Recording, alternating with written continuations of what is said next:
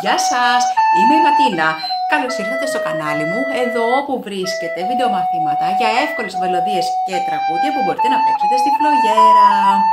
Ένας φίλος από εσάς μου ζήτησε να σας δείξω πώς να παίξετε στη φλογέρα το γλυκί μου air από τα εγκόμια της Μεγάλης Παρασκευής.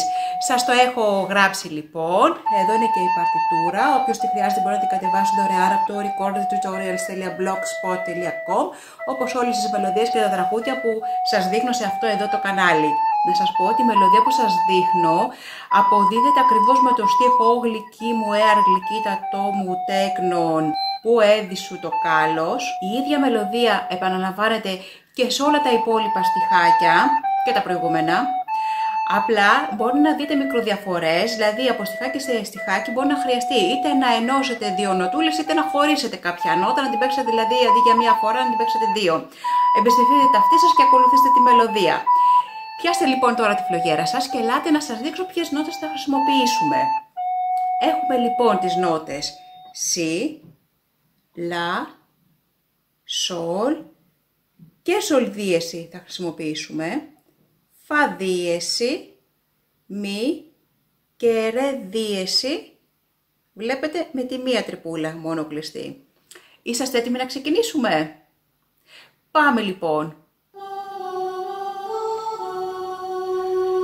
La, sol, fa, la, sol, fa, mi, re, mi, mi, fa, mi, fa, sol, la, sol, la, si, la, si, si, si, la, si, la, sol, fa, sol, fa, sol, la, fa.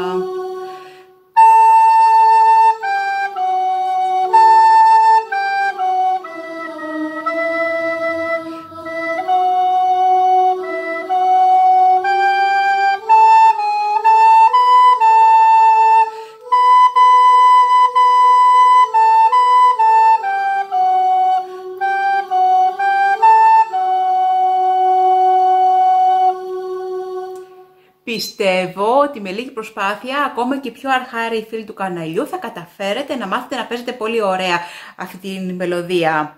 Μπορείτε να μου ζητήσετε κι εσείς κάποιο τραγούδι που θα θέλετε να σας δείξω, γράφοντάς μου κάτω στα σχόλια. Κάντε κανένα like αν σας άρεσε αυτό το βίντεο μάθημα και μοιραστείτε το ελεύθερα με τους φίλους σας. Και μην ξεχάσετε να κάνετε εγγραφή πατώντας αυτό εδώ ακριβώς το κουμπί, ώστε να μην χάνετε τίποτα από ό,τι ανεβαίνει σε αυτό εδώ το κανάλι. Γεια σας!